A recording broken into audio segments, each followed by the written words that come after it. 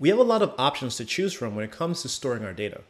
We can keep data in memory or export it to a file on disk. We can keep it in a local database or even choose to use a hosted option in the cloud. In this video, I want to show you how we can connect our web API to a database. And in this case, we're going to use MongoDB. If you're unfamiliar with MongoDB, it's a really popular open source database that actually stores its information as JSON documents. It has support across a wide variety of programming languages and even supports a C Sharp client. Now, one of the things I really love about Mongo is that I have the ability to download their database server locally and use it while I'm doing development. And when I'm ready, I could switch over to a hosted option using something like Azure Cosmos DB. Now, if you want to know a little bit more about Mongo, I definitely recommend you check out some of our documentation. But for now, let's head over to Visual Studio and see how we can connect Mongo to our web API. Before we head over to Visual Studio, I want to show you the instance of MongoDB that I have running on my machine. Here I created a database called Cookbook, and inside of Cookbook, I have a collection called recipes. Now, if you're coming from the SQL world, a collection is very similar to a table. And inside of my collection, I have a lot of information that I pre-populated with different recipes that I really like. Now let's head over to Visual Studio. The first thing I want to do is add some of those connection string settings. And the way that we'll do that is using our app settings file. Notice that I'm including the connection string, the name of the database we want to connect to, and also the name of the collection. Next, we need to add that NuGet package that we talked about earlier. So I'm going to right click and go to Manage NuGet Packages. And now we're going to search for the Mongo driver. This is the official MongoDB package that we want to install. Notice that I have this little green checkbox there. That just means that it's already installed in my application. Next, let's wire up Mongo to our app.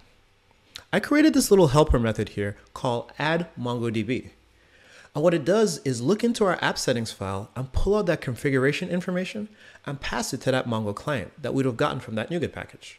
Inside of our startup.cs file, if we head down to configure services, you'll see on line 29 that I'm making that call to that method, add MongoDB. On line 30, you might notice I'm adding something else, the Mongo recipe data store. This is just a class that I created to make it a little bit easier to work with MongoDB and our recipes API. There's one other change that I think you might be interested in as well. If we take a look at our recipes record, you might see that I've added some additional information to it. I've added some more properties, and I've also turned ingredients from a string to another record. So now we can store more information about ingredients such as name, amount, and the units. The last thing that we want to do here is connect all of this to our recipes controller. Now, if you recall that Mongo recipe data store that we wired up in our startup.cs file, we can actually ask for an instance of that and ASP.NET Core will provide it for us. And the way that we can do that is by creating a constructor for our recipes controller. And the parameter that our constructor accepts needs to be the interface that our Mongo recipe data store implements.